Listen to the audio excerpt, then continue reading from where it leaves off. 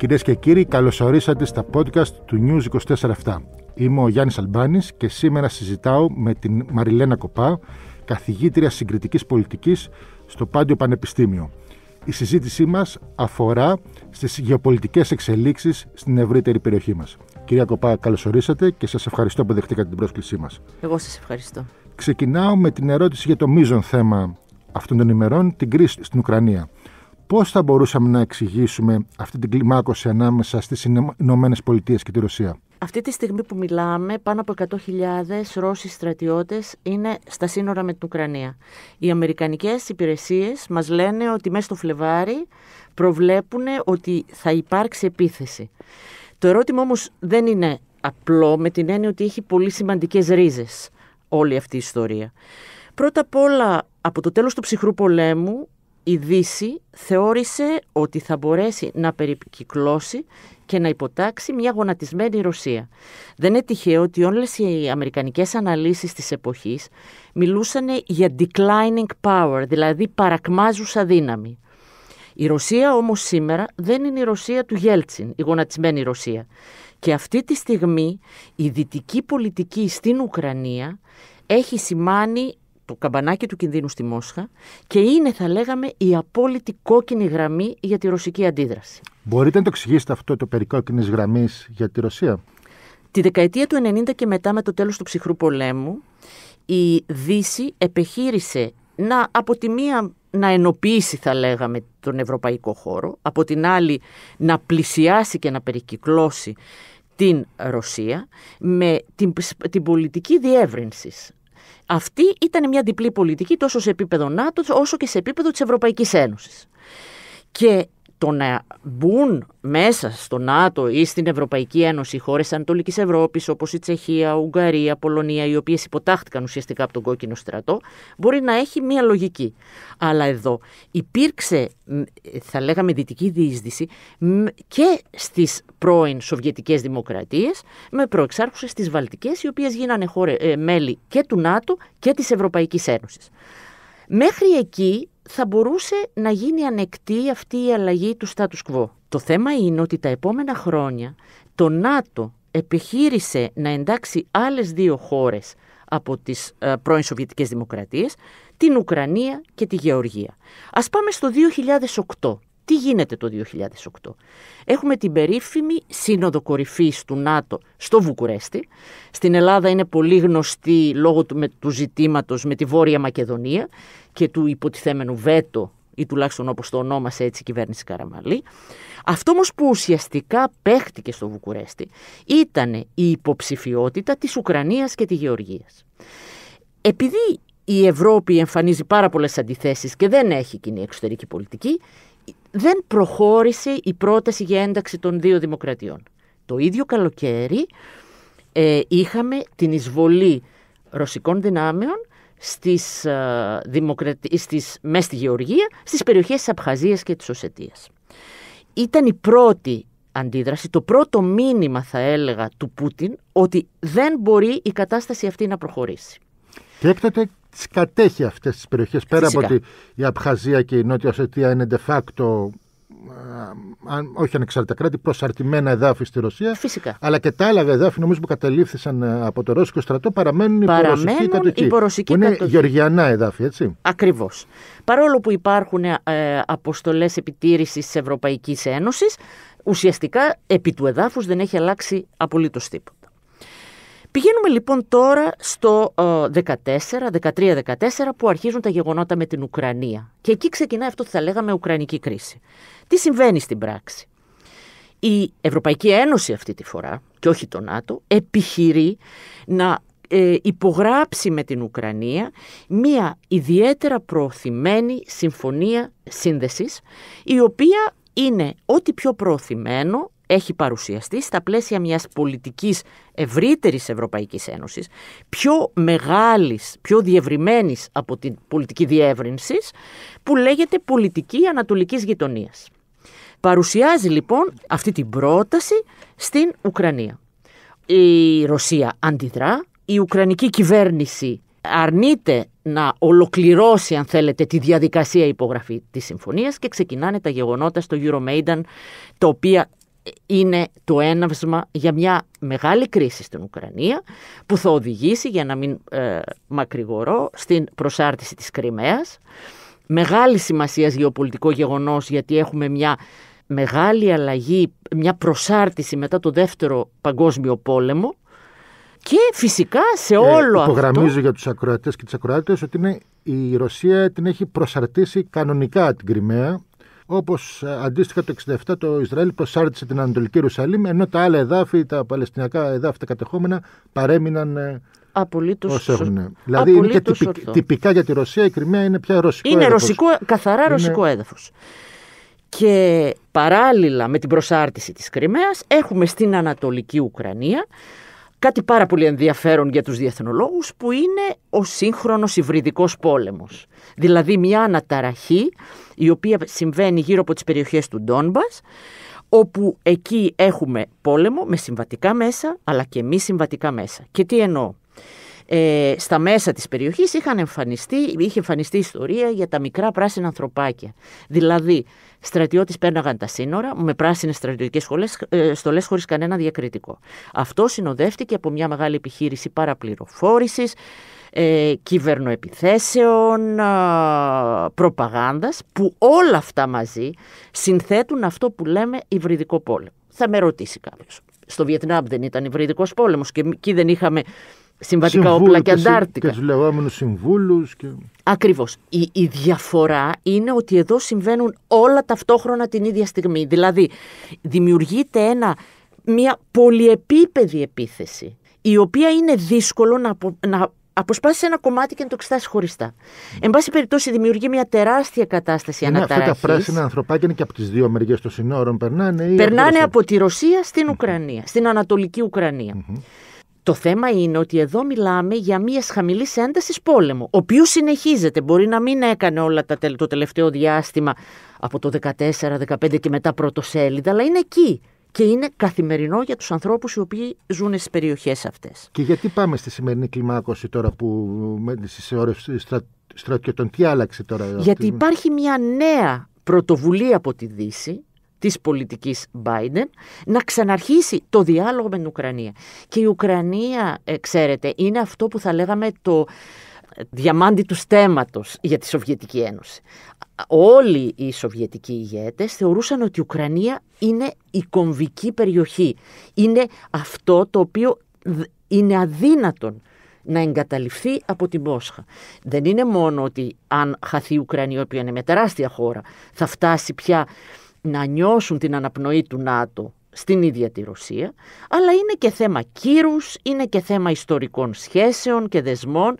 Οπότε η κίνηση του Πούτιν τι σημαίνει; Θέλει να βάλει, να βάλει το όριο, όπως είπα την κόκκινη γραμμή, ότι ως εδώ και να προκαλέσει διαπραγματεύσεις, οι οποίες τι θα φορούν; Θα φορούν μια νέα αρχιτεκτονική ασφάλεια στην Ευρώπη. Μια νέα Γιάλτα. Θα έλεγα ναι. Ή ένα νέο, νέο θυμάστε την α, περίφημη διάσκεψη για την α, συνεργασία και ασφάλεια στην Ευρώπη που ουσιαστικά από τη δεκαετία 90 και μετά ε, θα έλεγα περιφρουρεί το status quo και να πει ότι πρέπει να τα ξαναδούμε από την αρχή. Και βάζει τα εξής αιτήματα. Πρώτον, να σταματήσει η διεύρυνση του ΝΑΤΟ. Γιατί, αυτή, γιατί το ΝΑΤΟ διακηρύσει σε όλους τους τόνους ότι ακολουθεί πολιτική ανοιχτών θυρών. Και το είπε μέχρι και στην τελευταία σύνοδο κορυφής του. Ανοιχτές θύρες, τι θα πει, συνεχιζόμενη διεύρυνση. Και πλέον προς τα πού να πάει η διεύρυνση; Στα Βαλκάνια σχεδόν έχουν εξαντληθεί οι χώρες. Τι μένει, μένει ο πρώην Σοβιετικός χώρος. Λοιπόν, να σταματήσει η διεύρυνση. Δεύτερον, να φύγουν τα όπλα του ΝΑΤΟ, τα ε, α, οπλικά συστήματα του ΝΑΤΟ, κυρίως τα πυρηνικά, από τις χώρες που μπήκαν στο ΝΑΤΟ μετά το 1997. Ποιες είναι οι χώρες αυτές, είναι ουσιαστικά όλη η Ανατολική Ευρώπη. Η οποία έχει δηλαδή αμερικανικά πυρηνικά όπλα που είναι στραμμένα προς τη Ρωσία. Προς τη Ρωσία. Και συμβατικά βεβαίως. Ζητάει λοιπόν αυτά τα δύο πράγματα. Και αν το δεύτερο, δηλαδή ουσιαστικά να αλλάξει όλη η δομή ασφάλειας του ΝΑΤΟ σε αυτές τις χώρες και όλο το σύστημα ασφάλειας, ίσως είναι δύσκολο, αλλά το να, να, ε, να πει να σταματήσει η διεύρυνση, εγώ νομίζω είναι εφικτό και βάζει αυτά τα δύο αιτήματα. Γιατί ξέρετε, οι διαπραγματεύσεις είναι ένα σύνθετο πράγμα. Βάζεις δέκα πράγματα στο τραπέζι για να κρατήσεις το Είναι ένα λίγο που είναι. οθωμανικό παζάρι. Ακριβώς.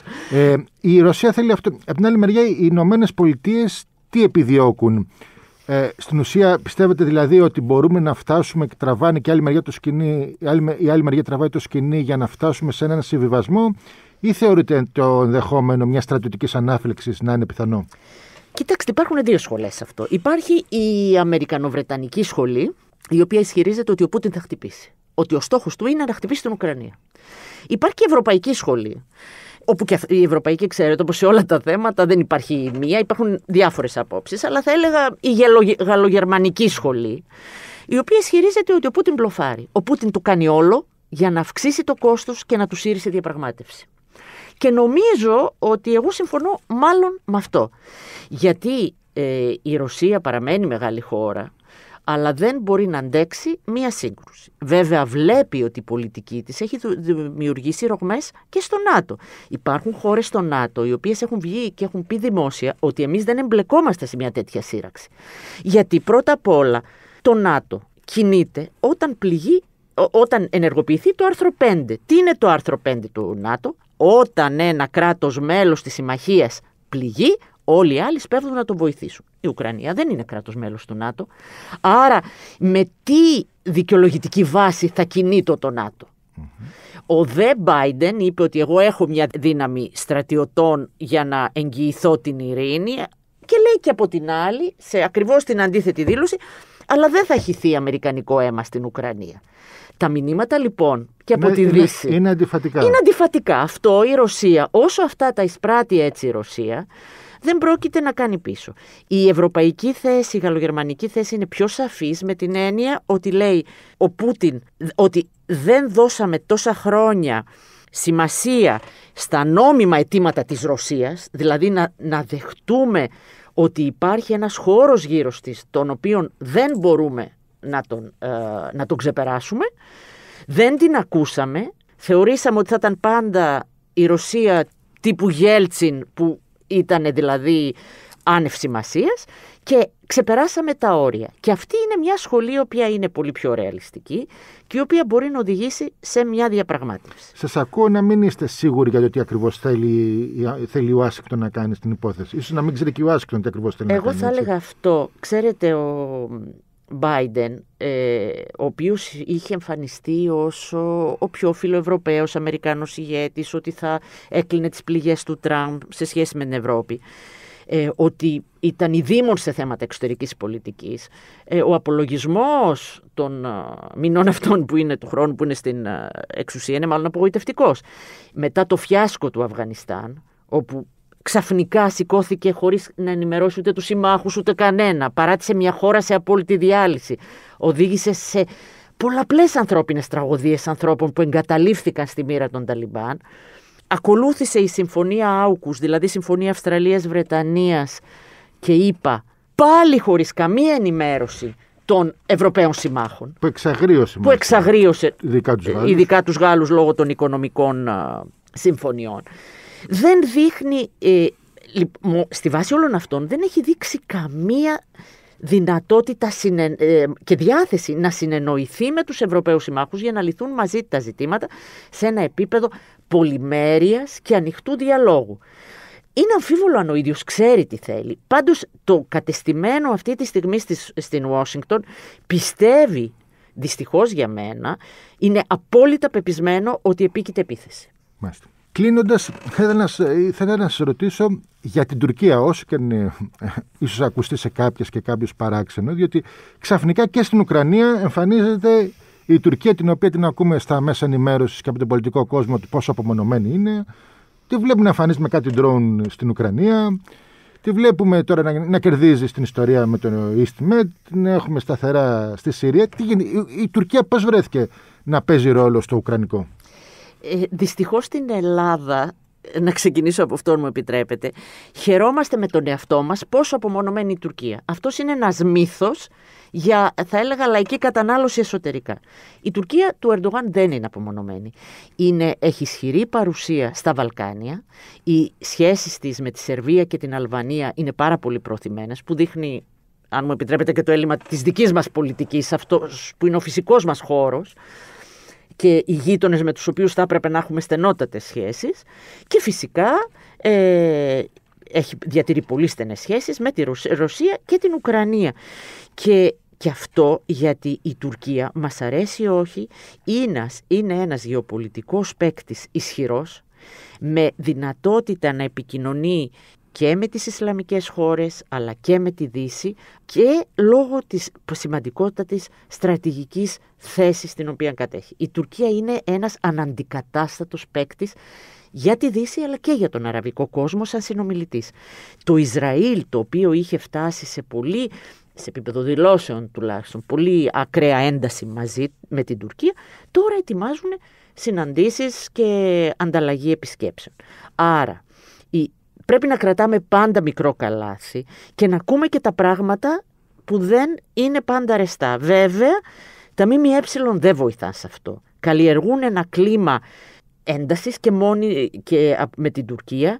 Και έχουν ε, και ένα θριαβευτικό ένα ύφος, θριαβευτικό... σαν, σαν, σαν, τα αραβικά μου με, που όλο νικάνε οι αραβικές χώρες του παλιότερα, δηλαδή που νικάγαν το Ισραήλ Απολύτως. και θριαμβεύαν και το Ισραήλ απλώς κέρδιζε εδάφη σε βάρος των Αράβων. Ακριβώς, ακριβώς όπως το λέτε. Η Τουρκία είναι ένα μεγάλο πρόβλημα για την Ελλάδα, σαφέστατα είναι μια απειλή, δεν θα την αντιμετωπίσουμε με θριαμβολογίες, αλλά με μια ρεαλιστική πολιτική και άνοιγμα διαλόγων επαφής. Είναι τραγικό ότι είμαστε στην πρώτη φορά μετά από μια μεγάλη ένταση, σαν αυτή που ζήσαμε το καλοκαίρι του 20, που δεν άνοιξε ένας διάλογος επικοινωνίας μεταξύ των δύο χωρών. Αν, θυμηθεί, αν σκεφτείτε, από τη μεταπολίτευση και μετά, κάθε φορά που είχαμε μια μεγάλη ένταση, είτε ήταν το χώρα, είτε άλλες εντάσεις ε, με τα ίμια, ήταν πάντα σαν ευκαιρία, σαν καταλήτης, ενισχυμένη. Εδώ η κυβέρνηση συνεχίζει να θριαμβολογεί για την πετυχημένη πολιτική της στην Ανατολική Μεσόγειο.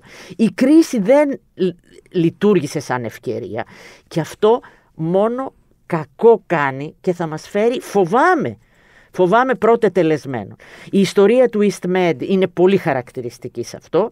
Θριαμβολογήσαμε για έναν αγωγό που οικονομικά δεν ήταν βιώσιμος, το ξέραμε από την αρχή. Όσο και αν ο, ο, ο Μενέντες δούλεψε αυτό και το προώθησε για πολιτικούς λόγους. Όταν τέτοια έργα δεν έχουν οικονομική βιωσιμότητα, κάνουμε μια τρύπα στο νερό και μετά δημιουργείται μια απογοήτευση για κάτι που έτσι και αλλιώς δεν υπήρχε περίπτωση να προχωρήσει. Αλλά ο Ερντογάν πώς βρέθηκε τώρα και στο Κίεβο τώρα; Εντάξει, στο Αιγαίο, εντάξει, στη Συρία, στο Κίεβο ε, ο Ερντογάν κάνει μια πολυεπίπεδη πολιτική προς όλες τις μεριές. Η Τουρκία έχει μια αμυντική βιομηχανία, έχει μια τεράστια στρατιωτική εμπειρία και είναι κάτι ε, το οποίο το εκμεταλλεύεται και το χρησιμοποιεί πάρα πολύ στις διμερείς σχέσεις. Δηλαδή, εκμεταλλεύεται την πολεμική της βιομηχανία ως διπλωματικό όπλο πέρα από το, την οικονομική πλευρά του θέματος. Απολύτως. Και επίσης το. Και το είχαμε δει και στο Αζερβαϊτζάν αυτό πάλι με τα τουρκικά ντρόουν. Ακριβώς. Και δεν είναι μόνο τα ντρόουνς, ακόμα και σε επίπεδο ε, στρατιωτικών δυνάμεων. Αυτή τη στιγμή η Τουρκία έχει μπαρουτοκαπνισμένο, αν μου επιτρέπετε, ένα στρατό ο οποίος έχει εμπειρία σε παιδεία μαχών σε πάρα πολλά μέρη του κόσμου. Αυτός ο στρατός μπορεί να πάει να, βοη... να, να σταλεί για να βοηθήσει, ε, να υποστηρίξει... Να βοηθήσει εντός εισαγωγικών. Ε, ε, εντός πολλών εισαγωγικών. ε, κάποιες πλευρές ο εναντίον άλλες. Ο, ο Θεός να σε φιλάει από τέτοιες βοήθειες ε, προστατών ξένων. 100%, 100% αλλά θέλω να πω είναι ένας στρατός ο οποίος είτε αυτοτελώς, είτε σε συνεργασία με μισθοφόρους σαν αυτούς που χρησιμοποίησε στη Λιβύη, μπορεί να είναι παρόν ταυτόχρονα σε δύο-τρία μέτωπα, Λιβύη, Συρία και επίσης να μας δημιουργεί πρόβλημα και στο Αιγαίο. Λοιπόν, αν δεν μιλήσουμε με ρεαλιστικούς όρους, ποιο είναι, ποια είναι η Τουρκία την οποία έχουμε. Και όχι αυτό το πράγμα που ακούμε στα κανάλια καταραίει σήμερα, καταραίει, καταραίει.